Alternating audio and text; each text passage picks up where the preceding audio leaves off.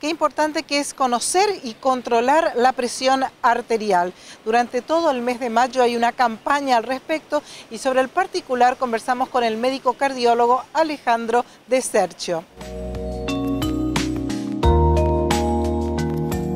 Eh, la campaña es algo que surge de una idea de la Sociedad Argentina de Hipertensión Arterial en función de qué? De un gran problema que hemos eh, venido comentando en tus programas hace mucho tiempo, ¿no? que es la detección de la hipertensión arterial. La gran falencia a la hora de hacer el diagnóstico.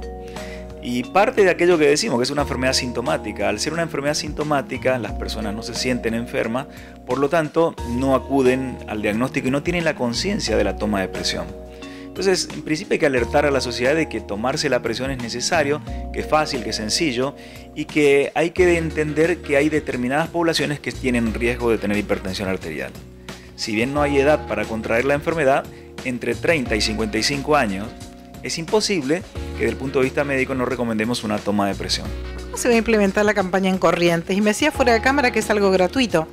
Sí, la verdad que la toma de presión eh, en esta campaña que vamos eh, a lanzar, o mejor dicho ya la lanzamos a partir de mayo en todo el país y aquí en Corriente a partir de hoy. Eh, bueno, es algo gratuito, la gente no tiene más que acercarse al stand que está a la entrada, a la izquierda eh, de la entrada del instituto y lo puede hacer en forma gratuita, no importa la edad que tenga a partir de 18 en adelante, porque es una campaña para adultos, digamos, ¿no?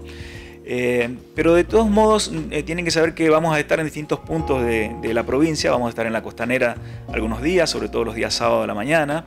Eh, va a haber gente en Empedrado y también en otros lugares de, la ciudad, como el shopping, como el centro, algunos puntos estratégicos de la ciudad, para que todos tengan la oportunidad de saber qué presión tienen, porque, como les dije, es una enfermedad sintomática, la gente se cree estar sana, se cree que está bien y no se mide. Y con esto le vamos a dar la posibilidad de que tengan diagnóstico.